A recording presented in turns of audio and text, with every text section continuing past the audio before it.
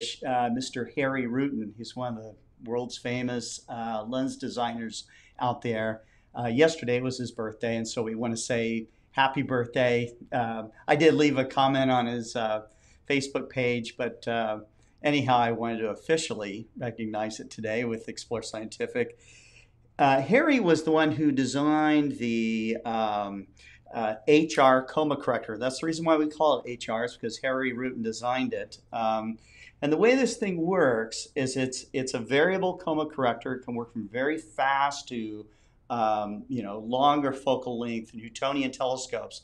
Now this is a Newtonian telescope that has a parabolic primary mirror.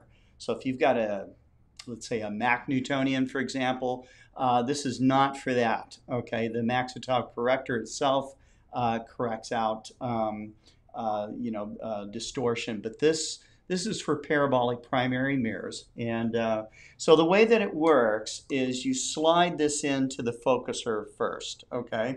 Then what you do is you attach your eyepiece or your camera up on top. Now you'll notice that, that uh, I can turn this and what you do is you rotate this to the position of where, you know, if you're just looking through the eyepiece, you see the coma just disappear at the edges, okay? Just all the stars become round dots. The same thing would be true uh, with your camera. You would rotate this, and of course, you'd have to be adjusting focus until you get that. But once you have it nailed down for that eyepiece or that camera, then there is a locking ring which you turn right here, and then that locks the position of it. And that's it. So it's pretty simple, but it's a fantastic device, and Harrie did a great job on it. So I think you'll love it. At 4 p.m. Central, uh, we come back with the OpenGOTO Community Live program with uh, Kent Martz and Jerry Hubbell. Uh, uh we will have part two of two of uh, the Mark Slade Remote Observatory, which has got a Explore Scientific ED165 in it uh, that's supported with a uh, Losmandy G11 mount, all running with the PMC8. Um, He's got uh, dome controls. They have everything for complete remote operation of that telescope. So it's really cool.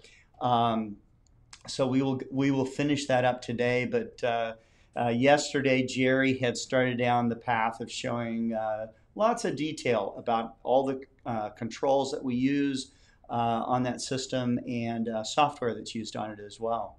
Um, uh, special guest on our show tonight uh, with the OpenGOTO Community Live will be Robert Vice. Astrophotographer Robert Vice has been shooting astrophotographs since childhood, and uh, he will show us some of his recent work um, because we got clear skies around here not too long ago. Um, of uh, you know that he's done with his I, I, think it's his Explore Scientific ED 102, but it is mounted on a G11 with the PMC8 as well. So uh, hope you enjoy the program. Uh, we have, uh, you know, we'll be fielding customer uh, questions or questions from the, uh, the OpenGOTO community if you're watching. Um, and keep looking up, and we'll see you at 4 p.m. Central. Take care.